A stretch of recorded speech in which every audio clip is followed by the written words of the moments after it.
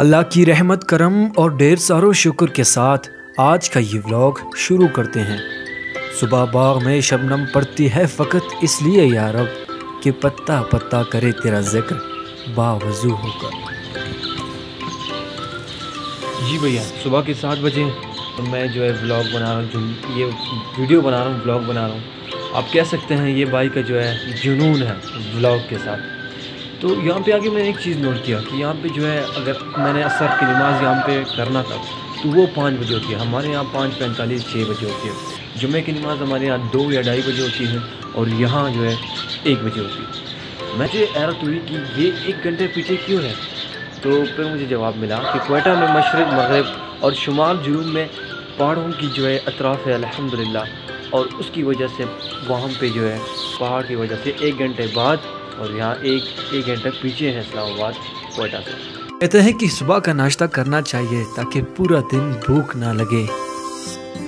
آج ہم روان ہیں فیصل مسجد کی طرف اور کوئے دامن کی طرف۔ اور یہ میں میٹرو بس میں پہلی مرتبہ بیٹھ رہا ہوں۔ فیصل مسجد کی پہلی نظر دلکش اور خوبصورت چاروں اطراف، سبز پہاڑ اور سفید مسجد۔ فیصل مسجد۔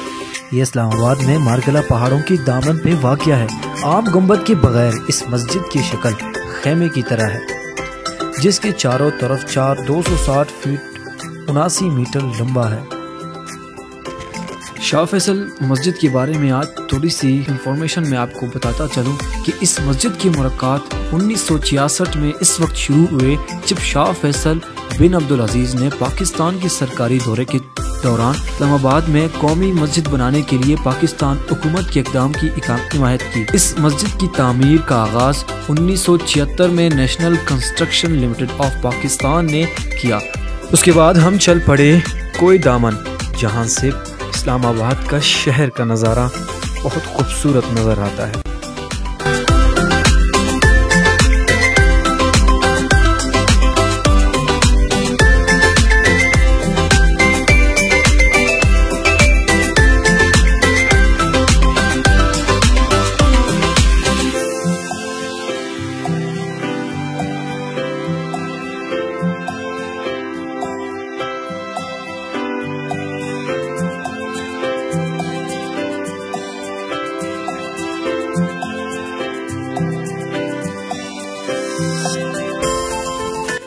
کوئی دامن پہنچ کر میں نے سب سے پہلے بندر کا تماشا دیکھا، جو کہ اپنی مالک کی کہنے پر کرتب کرتا تھا کہ مالک کہتا تھا، جمپنگ کرو اور جمپنگ مارتا تھا۔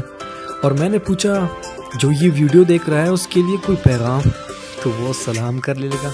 اور اس کی مالک نے کہا کہ ڈپس لگاؤ، تو وہ ڈپس لگانے لگا۔ کیا ہی خوب تربیت دیا ہے اس کے مالک نے۔ اب میں آپ کو ملاتا ہوں، ورلڈ کے دنیا کے سب سے بڑے پاندان۔ جس کی بان بہت ہی مزیدار ہے۔ اور اس کے پاس عجیب قسم کی کھلونے بھی ہیں۔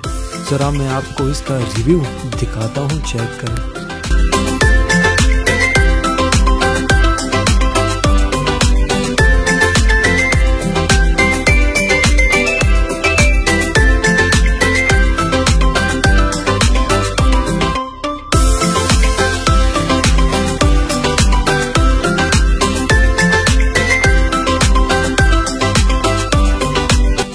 اور یہ رہا ڈریم سٹی شہر اسلام آباد۔ بہت ہی دلکش نظارہ یہاں سے نظر آتا ہے۔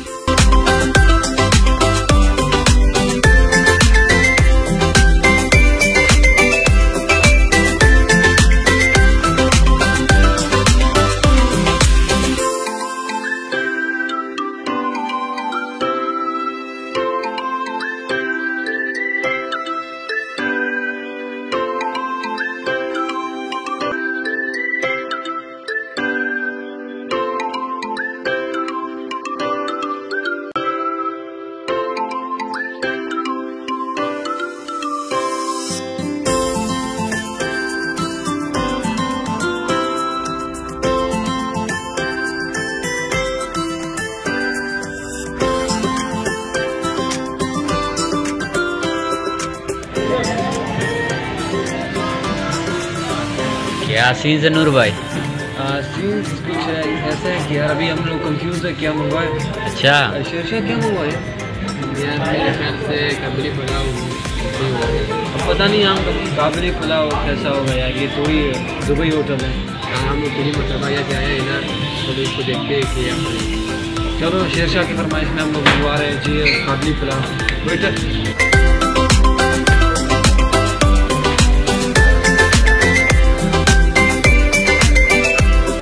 نور بھائی کیسے ہے کابلی پلاؤ؟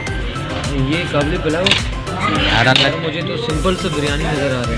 ہاں مجھے بھی تو ایسا ہی لگ رہا ہے۔ یہ یہ چکن ہے اور یہ بیف ہے۔ اچھا۔ اور یہ کابلی پلاؤ تو اس طرح نہیں ہوتا۔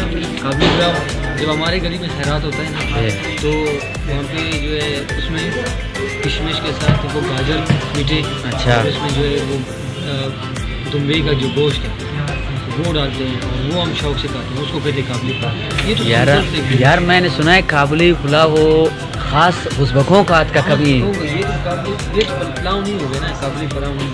مطلب یہ صرف نام کی وجہ سے کابلی پلاؤ کھا جائے ہے۔ شنگریلا والا یہ کابلی پلاؤ؟ میں نے یہ تو بالکل ڈفرینٹ ہے۔ ابھی ٹیسٹ کرتے ہیں۔ ٹیسٹ کرتے ہیں۔